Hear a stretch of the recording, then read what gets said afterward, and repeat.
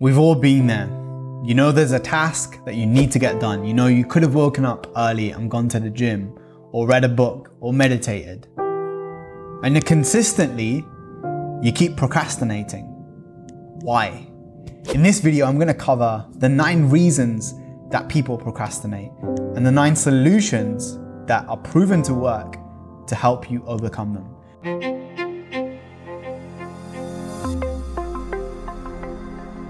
Before we get started, make sure you subscribe and you click on the bell icon so that you're notified when new videos come out. I drop weekly videos on self-improvement on my channel. But without further ado, let's get into it. The first one is you set yourself up to fail by not having a plan. Before you go to bed at night, the most important thing you can do is to have a plan. What are you doing tomorrow when you wake up? By not having a plan, what happens?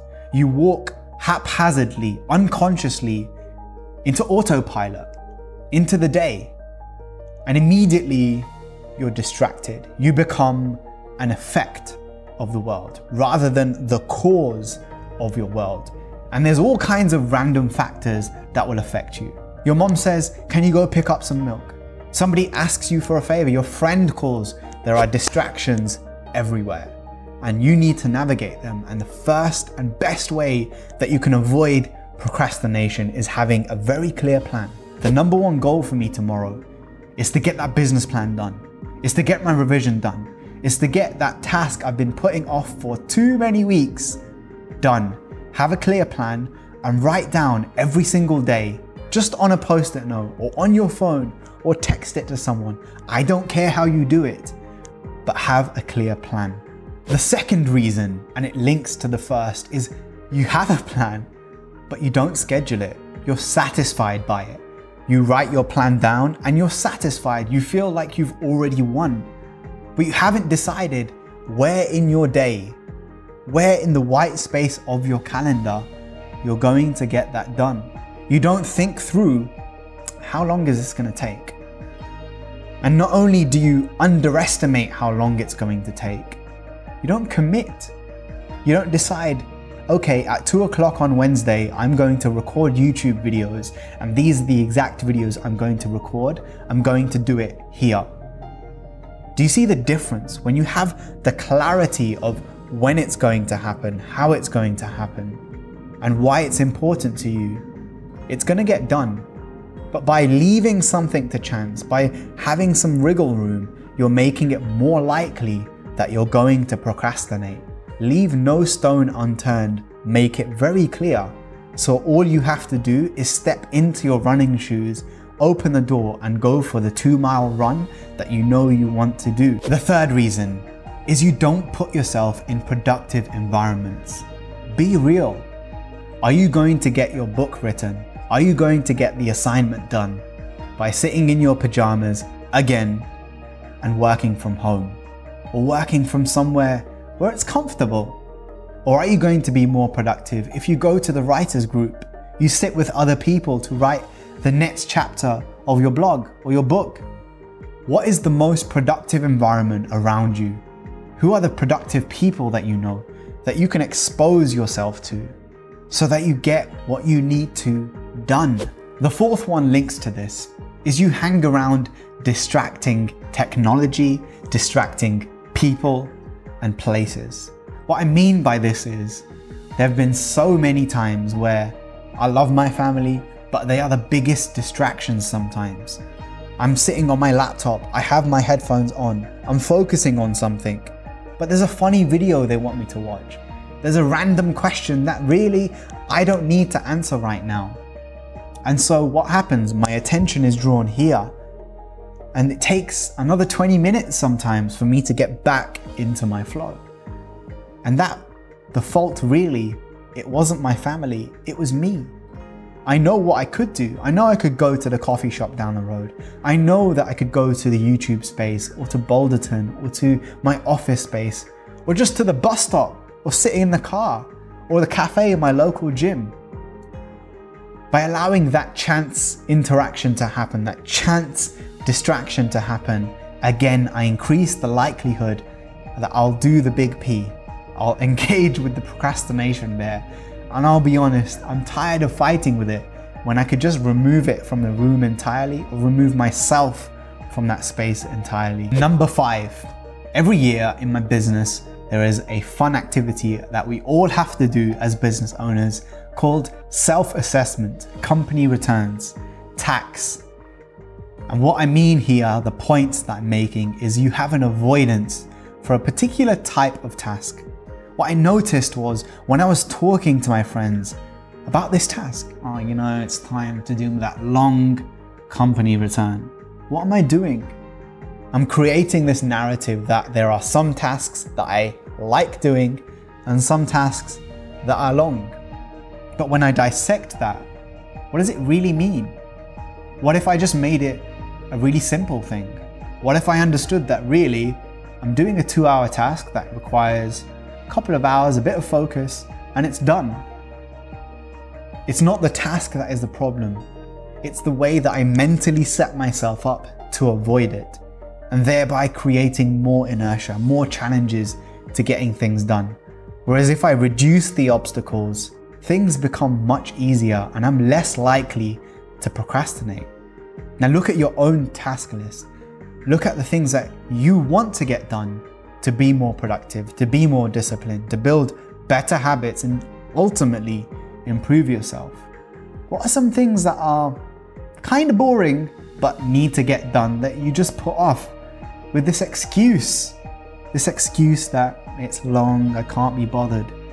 And instead, what if you just focused on the solution? Well, what would make it easier? How long does it really take? And is it really as bad as you're making out? Number six, you start your day by setting yourself up for failure and not success. And what I mean by this is linked to some of the earlier points. You idle and amble your way out of bed. You're not really sure what you're doing. You're watching YouTube videos, you're on your feeds, you're watching people's stories. Is that the most intentional way to get the most out of today, out of this moment? Or is it to stop and to pause and just close your eyes and to take a couple of deep breaths, to think through what the most productive day would be, what the best use of your energy would be, what the number one priority that you wrote down was. Be intentional. Know what it is you're setting out to achieve, and then go do that. Find the best way to start your day. For me, the first thing I do is fold my bed, meditate, and press play on my audiobook. So while I'm brushing my teeth and I'm looking in the mirror, I've created at least two minutes in my day as soon as I've got started. To start how I mean to go on. So I'm not waiting till 2, 3, 4, 5, 6, 7 o'clock to salvage my day. Start how you mean to go on. Number seven is the demon of perfectionism.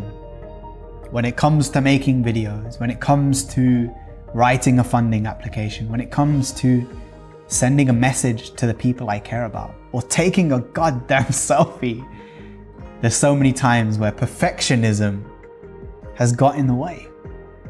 And I constantly remind myself done is better than none. Complete is better than perfect. So take a look at the things you want to achieve from the big goals right down to the tiny tasks. Where does perfectionism get in your way? And what if you stopped trying to be perfect and you started being consistent? You started focusing on ticking the checkbox, completing tasks, rather than trying to make them too perfect. Because at the end of the day, doing things to 70% but consistently and completely is better than 100% some of the time. Stop aiming for perfectionism and start aiming for completion. Number eight, you don't see the point. You don't see the point in that task because somebody else has set it for you. Or it's just what you've always done. Take a look at the task. Take a look at that item, the thing you want to get done, and ask yourself, why are you doing that? What's in it for you? And if it's something that isn't appealing straight away, the reason that you come up with, look deeper. Well, I'm doing my company accounts because HMRC and the tax man needs it. Well, why is that beneficial? Because I don't want a black mark on my business. I don't want to pay a fine. Why is that important? Because I want to keep the money that I work hard for. It could be as mundane as that. Or it could be something like, why am I avoiding this task that my colleague has set for me? Because I'm kind of annoyed that he didn't ask if I want to do this. And why am I annoyed about that? Because I didn't stand up for myself. I didn't communicate effectively that, bro, I'd love to help you out, but I have enough on my plate. So think through why is it that you're engaging in this task? And what benefit, if not immediately clear, does it have for you? And the final one, you haven't prioritized things properly. I like to think of all the tasks that people set for me and I set for myself as belonging in four categories urgent, very important, kind of important, and it can wait. The things that can wait, normally set by other people. Can you drop off this thing to my school? The assignment I didn't complete. Can you pick up some milk for me? Yeah, I can, but once I've completed the things that are important to me. The urgent things. I need to send an invoice to get paid. I need to pay someone in my company. That's urgent. Very important. Somebody has set a task for me, but it's not something I need to get to immediately, but it is something I need to get done at some point today or tomorrow. By prioritizing and knowing where does this task sit for me? Is it something that I need to just delete? Is it something that I need to delegate? Or is it something that I need to do? And if so, when? By setting time aside and knowing which category, which priority bracket it falls in for you, the judge of your to do list, you create more space, more mental freedom to get things done. So you're less likely to hit that grizzly bear of procrastination and be taken over and off course from where you want to go in life. And the final thing, there is a personality test that you can do that will help you to understand are you shipwrecked? Are you the master? Or are you the dabbler? And how these personality types affect your procrastination. I actually have a course called Inner Compass which goes through some of these things. So check out the test, subscribe to my channel, click on the bell icon, and as always, accept the best and nothing less. Absorb what's useful and discard what isn't. Add what's uniquely your own and change the life that you want to create to something more meaningful. I'll see you in the next video. Comment down below. Peace.